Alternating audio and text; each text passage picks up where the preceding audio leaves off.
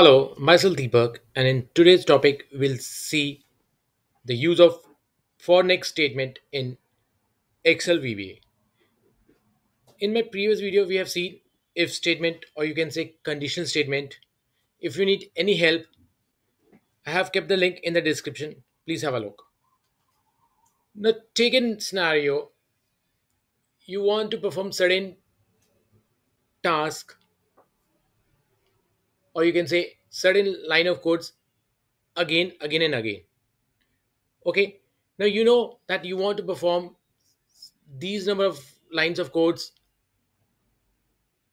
this much times like for example 10 times 40 times 100 times you know that you want to perform these set of codes this number of times then you can use or you can say you can take the help of for next statement let's see the code.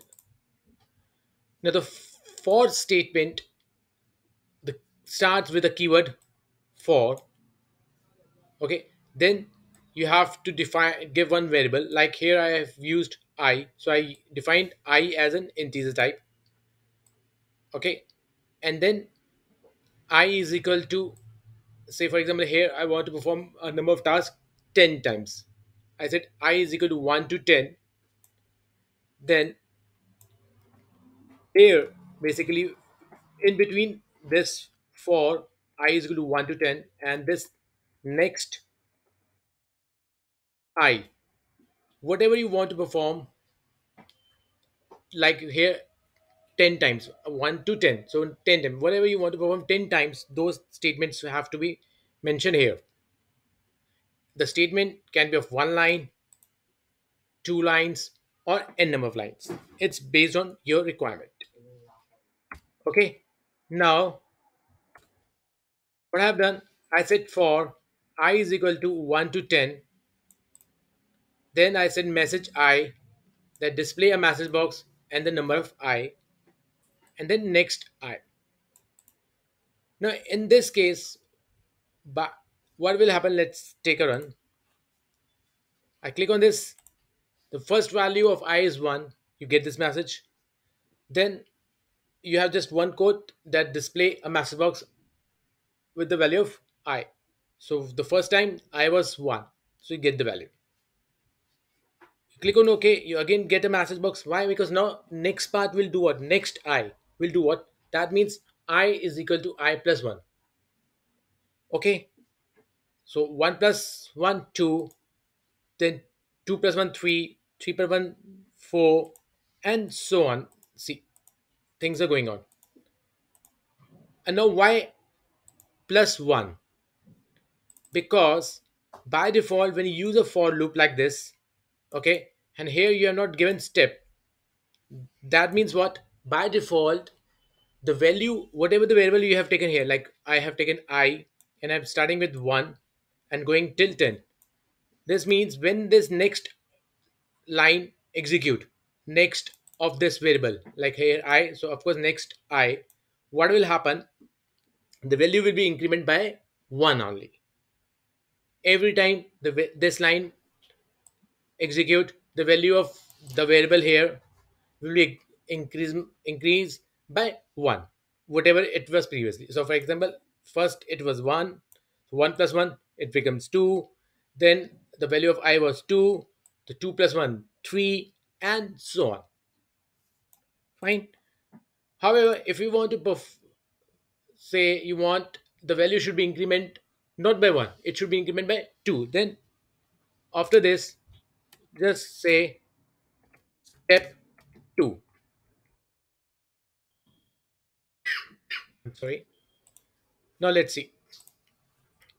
First time of course it will 1 then 1 plus 2 it becomes 3 then 3 plus 2 5 fine. So every time the value is increment by 2 okay. And you see that the value starts with 1 and then goes till 10 and after that if the value of, of i is like for example if right now we are adding 2 previously we are adding just 1 when it was adding this 1 when the code is like that So using that after 10, the message box was display 10, then you're coming out. Basically what happened, because here these this code which is between this for and this next will be execute 10 times because I have mentioned it 1 to 10. When the value of i is 11, this statement becomes false. That's why it come out from the for loop. Basically, the cursor or you can say the execution point will become after this here. And if it if there is some code here, that will be execute. If nothing was there after that, nothing will be execute. Okay. Now take one more example of step. Say for example, currently here you have said i is equal to 1 to 10. So by default, the value of i is in ascending order. There might be cases when you need the for loop should be run in descending order. Then what? Say for example like this. Now if here I do not mention step, then see what happened. This is basically for this button. Now let me click on the see nothing was happening. Fine. Because I said here that the value of i is equal to 10 to 1 that means the value of i is in decreasing order now because i have not mentioned step what is happening? For loop is doing what? It is considering it is in an increment mo- mo- mode. So it it is thinking that 10 plus 1 sh- like that. So 10 plus 1 is equal to 11 now in this case it is not possible. Because here you have to go in descending order. So that's why nothing is happening so if i mention here step minus 1 so i'm saying now you have to go not by default like not increase the value like here it is increasing by 1 by 1 by default. If i mention step equal to 2 it then it will increase the value by 2 do not do that thing. It says that do reverse. What? Decrease the value by minus 1. Now it can be minus 1, it can be minus 2 as per your requirement. Say for example, I say minus 1. Now let's run on.